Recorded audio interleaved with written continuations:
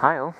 So I'm in Millison's Wood today with some conservation volunteers doing a bit of coppicing. So this is what was done last year.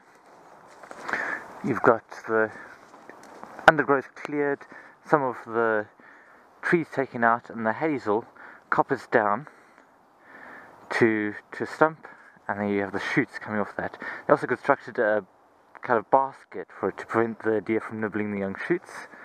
And then all of the wood from that was made a dead hedge. So today we're going to be working on clearing this section. If you leave it this thick in undergrowth, you tend to suppress the low level vegetation and the because there's not a lot of air movement, the, it's more likely to be disease amongst the plants here. So I'll see if I can get some footage as we go.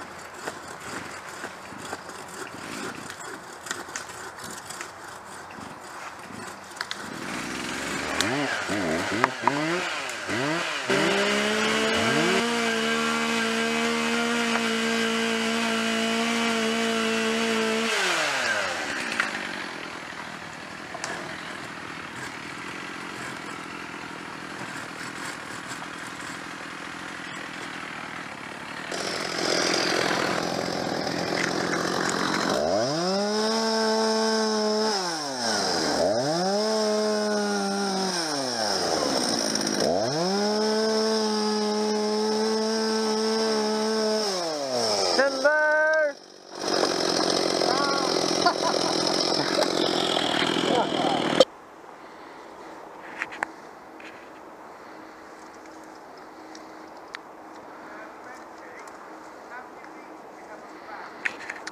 So this is afterwards. Taken the hazel right down and then we've just constructed a basket around it. So six or so posts driven into the ground and then hazel woven around them to create this kind of barrier around the stump itself to protect the shoots from the deer. Have more of some of the larger branches. Now we've added to the dead hedge on this side. And as we've gone out we've also cleared of the bramble, piled it up over there.